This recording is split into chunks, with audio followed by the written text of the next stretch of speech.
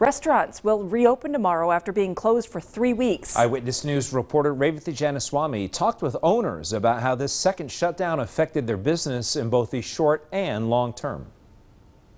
This place should be packed right now. It's a Sunday morning and we're waiting for the phone to ring, so.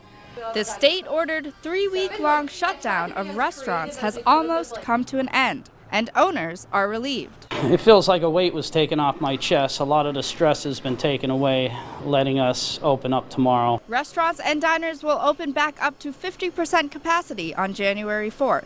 Governor Wolf's order in December did allow for takeout, but Sabrina Seitz says food to go doesn't really work for her family's diner. The majority of our um, business is breakfast, so our takeout's been really slow because a lot of people don't order breakfast and take it's not the same when you take it home and your eggs are all like soggy and everything. Marie Brown, who owns Marie's in Duryea, echoes that concern. Not that I don't think the virus is fake or anything like that. I know it's real. I know people who have gotten sick. I know people have died, but there's also people out there that are suffering different ways, you know, with with a loss of job that committed suicide and their lives are just as important as everyone else who lost their life because of COVID.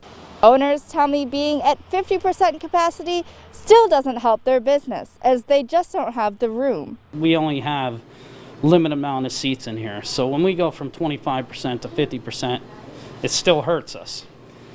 But uh, as long as we can have people come in and we serve them and get them out quick enough and just keep shuffling people around, we'll be okay. In Luzerne County, Revathi Janaswamy, Eyewitness News. And some restaurant owners told us that if another shutdown were to happen, they would have to remain open no matter what just to keep afloat.